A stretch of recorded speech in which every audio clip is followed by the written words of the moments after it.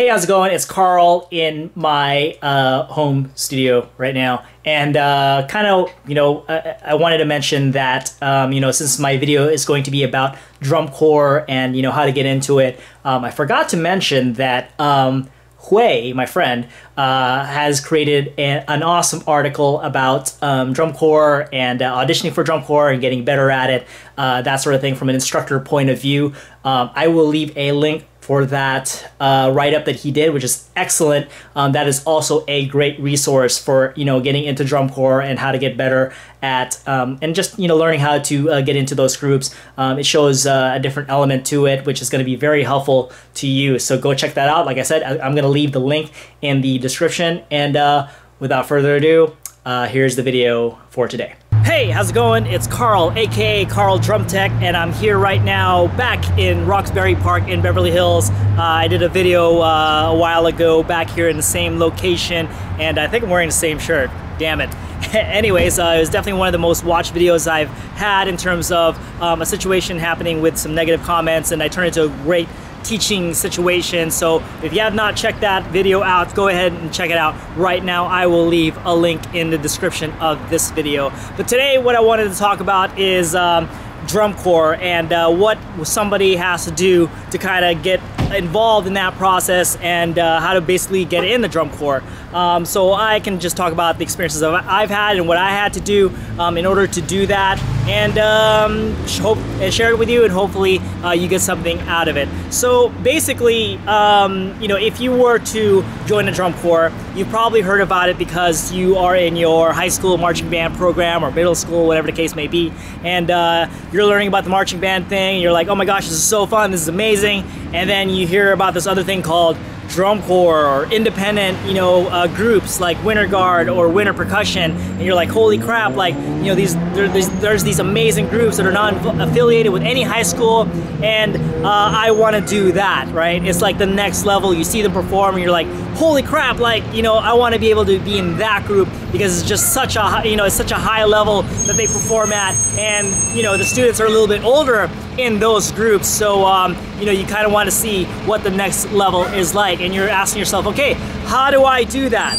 Well, my advice to you, if you're interested in getting involved in something like that, is that in the program that you're at right now, you got to maximize the time that you are in it. And you, every single, you know, whatever you learn from your instructors, a lot of times, you know, they might have uh, marched in these groups themselves, uh, but no matter what, they're gonna have a lot more experience that they can impart upon you. Make sure you really tune in and listen to what they're teaching you and uh, try to, uh, if they make corrections, try to make the corrections as quickly as you can and try to improve, improve, improve. So, you know, one day you might take in a lesson, you learn it, you get better at something, and the next day you gotta ask your instructor, instructor what's next. And then you get that lesson, you gotta ask the next day what's next. And every single time, you just gotta get better and better and better because that's the key. If you wanna be in those groups, you have to be at a higher level because, you know, the thing that drew uh, you to them in the first place is that higher level. So you have to actually live up to that higher level, right? So um, that's one of the keys. Uh, the other key is just, you know,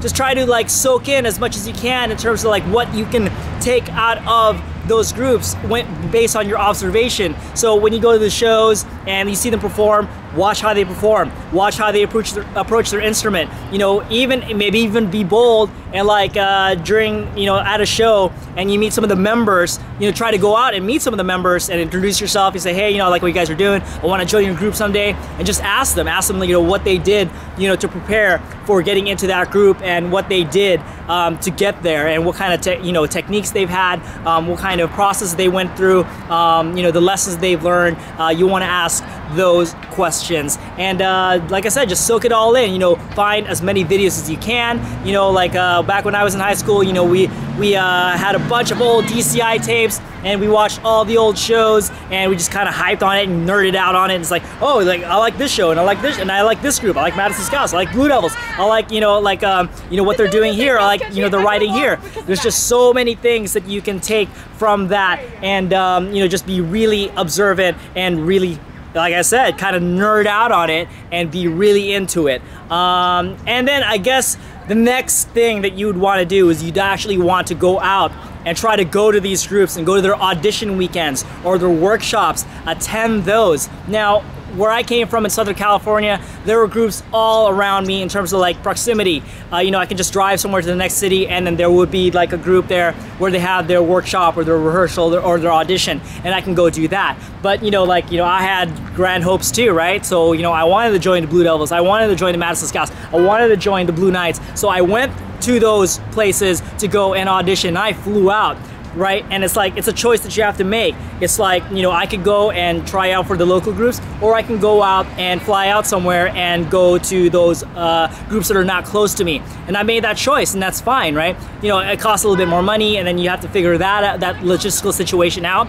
But, you know, if you have the, the means to do that and just go to a group wherever they are, like you really like them, you really like, you know, the Cavaliers, and you're over in California, you know, you have to somehow find your way to get over there to go audition for them, right? So no matter what you got to do, if that's financial, if that's, you know, uh, catching the bus, the Greyhound or something, you got to do that and make it happen. Um, or you can make a choice, right? Which is a, a good choice as well. Find a group that's local to you, go audition and um, you know and go to their workshops and learn as much as you can. And the thing is when you go to these audition camps or you go to these workshops try to learn as much as you can. Um, you, you, know even if you make it or you don't you can still learn a lot. Maybe you're not ready maybe you're like at a beginner level and you're like you know hey I'm not ready yet. I don't know if I should go. I recommend that you go anyway because you know it's not about whether you make it or not at that point. It's about you know what can I learn? What can I take from that? And then maybe if you don't make it you have an idea of what you need to do in order to make that particular group because so, you know all the groups are going to be different they're going to be looking for different things you know it's going to be different levels and uh, they're going to be looking for a, a, different kind of experience level from you. I mean heck back in the day like way back in the day i mean i i used to borrow books from the library that talked about drum corps. I know it's crazy right? I don't know if you can do that now but um, there are books that talked about how you know back in the day people didn't have excuse me sorry about that. Back in the day, people didn't have experience. Like people, they would take people off the streets and be like, I don't know how to play an instrument. I don't know anything, but you know, hey, I'm willing to learn. And then people would, and those groups would teach these people from scratch. Um, I remember one of my mentors, Tom Float, talking about how like, you know, if you didn't know how to drum at the beginning of a parade, once you do the, like a long parade, by the end of the parade, you know how to drum. So it's kind of interesting how, you know, just um, you know, you take people who have no experience, and then all of a sudden, you know, just uh, you know, you you learn, and then all of a sudden you're part of this group, and um, you know, even with no experience, you can be part of those groups. But th these days, that's not really the case. You have to have some kind of experience, and uh, your high school experience and your, the high school group you're at, you're going to learn the most doing that um, and transferring it over to the higher level groups. Now the next question that comes to mind is, you know, like the person who asked this question, he actually came from, he's coming from Alaska. And he's telling me that, you know, he doesn't have many resources in terms of groups that are over there, groups that are close by. You know, what does a person like him do in order to march a drum corps group or independent group? So that in that situation, that's a little bit more tricky, right? It's like we're at, wherein I had a choice where I can go to a group that's local and just drive over a couple minutes and be there. This person can, does not have that choice. So the only choice, if you want to go out and audition for a you know a group uh, somewhere, is you have to go fly out. You have to you know like uh, you have to catch a bus. I mean Alaska, I don't think you can catch a bus. I think you have to actually fly somewhere. And you know it may not, it may be a financial restriction or limitation, but you know, hey, at the end of the day, if it's something that you want to do and uh, you really, really want to do it, you got to make it happen. You got to find a way, right? You got to find a way to make the money. You got to find a way to like work, you know, jobs or whatever like that. Anything that you need to do to make it happen, and that's life, right? You want something, you have to find the way to make it happen. If you want it bad enough, you will find a way, and you will figure it out. Um, but you know, in the meantime, you know, because we have this uh, internet era, right? Where, whereas we didn't have this luxury back in the day, you know, you can just go on the internet and just watch as much as you, you watch as many drum corps and independent groups as you can. Try to learn as much as you can, and once again, nerd out on those things and really be a fan and uh, try to take as much as you can from watching those groups. You know, see the performers, see the difference, see how they perform. Um, what if uh, you're in that in, Alaska and uh, you're not in a high school group? Well, you just have to work that much harder. I mean, you know, maybe uh, it takes for you, you need to get a drum or a practice pad and you need to learn how to march. you know, you know, find a way to put a, a pad uh, and harness it onto yourself and march around. Learn how to mark time while playing. Learn how to march and move while playing. And these are the things you have to do that you don't have the luxury of having an instructor in front of you teaching you how to do these things or be in a group setting like in a high school group learning how to work with others you know you just have to work that much harder. But like i said if you really want it bad enough you will find a way. You will put in that extra effort.